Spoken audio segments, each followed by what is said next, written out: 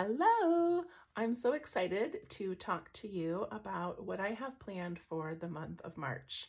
So in the, or in October, we did the Inktober challenge, which was 31 days of tangles.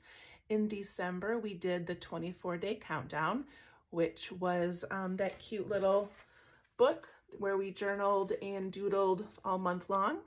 In January, we did the fragments of your imagination and in February, Share the Love, which was a 14 day video series with heart tangles. So when I was thinking about March, um, I don't know, I didn't really feel like doing a tangle every single day.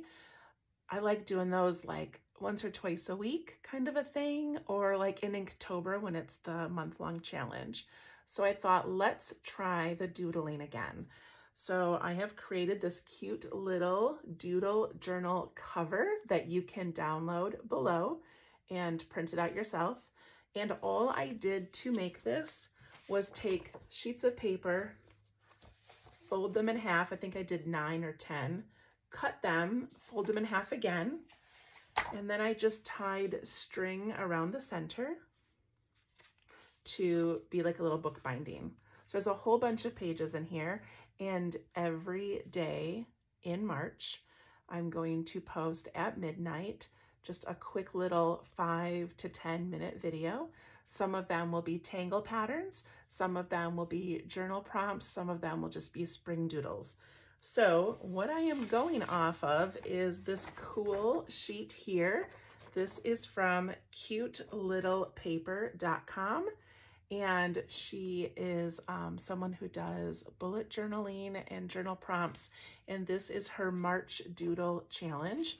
So I'm going to do most of these, but she has on here dandelion, something green, rainbows, birds on a branch, and I just thought, you know what, we could do this together, and it just gives us kind of a starting point every day for something fun to draw. So I will also link her site if you want to download the calendar. I'm just going to use her calendar just for the prompts. I'm not going to draw in the days because I'm going to do them in my cute little book. So all you need for this challenge or for this adventure is something to write with and something to write on. You do not need to make a book. You can do it in whatever you like to draw and It can be in a regular journal, a sketchbook, scrap paper, um, whatever you want. So I'm kind of excited and um, they will start releasing March 1st and we'll do a doodle every day. So please, please join me. Please follow along. Let me know what you think. And then I will also be releasing my mini mandala Mondays each week.